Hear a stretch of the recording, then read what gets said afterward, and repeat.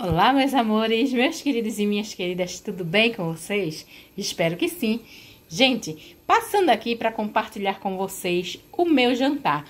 Esse jantar, gente, é apenas são apenas dois ingredientes. Assim, eu estava assistindo uma certa vez um filme coreano e tinha dentre as comidas que eles estavam comendo, tinha este pratinho assim que eu achei lindo e fiquei super curiosa de querer provar provei e amei. E agora não quero mais parar de comer. Então, é simples, né? No caso, vai ser bolinho de carne, que eu já coloquei aqui a carne e coloquei o alho. Aí eu vou pôr esses temperinhos secos, vocês põem da preferência de vocês, tá bom? E vou também colocar limão. Vou misturar aqui agora.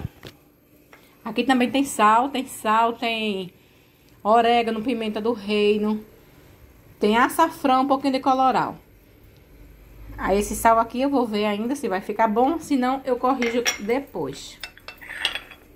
Esse bolinho, ele vai ser frito no air fry, né? A fritadeira elétrica. Fica muito top. E depois eu vou mostrar pra vocês o outro ingrediente, como é super basicão. Mas fica bom demais. Pronto, vou mexer aqui. Aqui vai na mão mesmo, vou fazer a misturinha. Misturar tudo. Pronto, meus amores, eu misturei tudinho e agora eu vou fazer o bolinho assim, ó. Eu faço meu bolo, ele, ele sem nada. É, porque tem gente que põe aqui um ovo e põe farinha de rosca. Até porque no meu caso eu não tenho farinha de rosca, mas eu não gosto de fazer.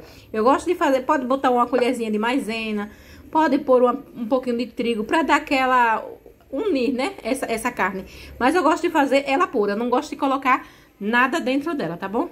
Vou fazer os bolinhos aqui e volto com vocês. Bolinhos prontos aqui. Aí eu vou ligar a fritadeira agora para assar.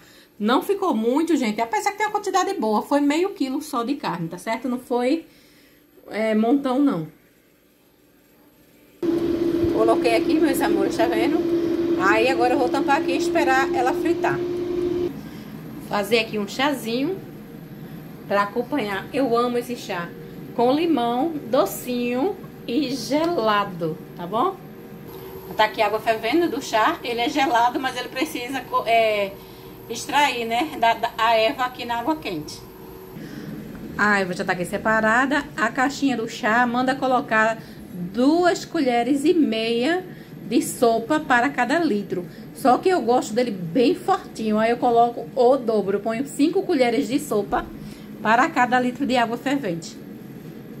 A água já tá aqui, ó, borbulhando, não preciso esperar ficar fervendo mesmo não.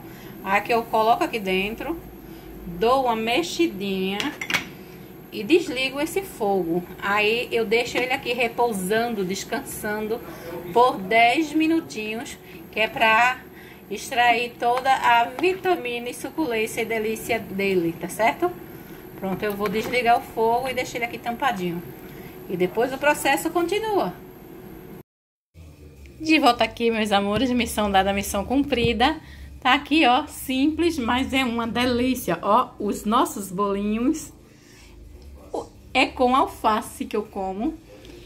E aqui tem uma manguinha aqui, ó, manga palmer, uma delícia, super docinha.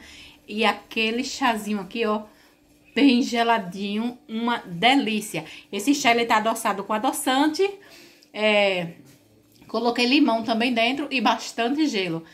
Tá vendo? Muito gostoso. Aqui, meus, meus amores, a ideia aqui, pra imitar os coreanos, né?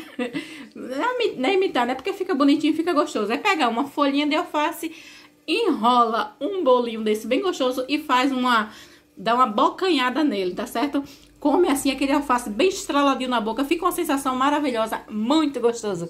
Então, meus amores, o vídeo vai ficando por aqui. Eu espero que vocês tenham gostado. Se gostaram, mete o dedão nesse like, comenta e compartilha essa delícia com quem você ama, tá certo?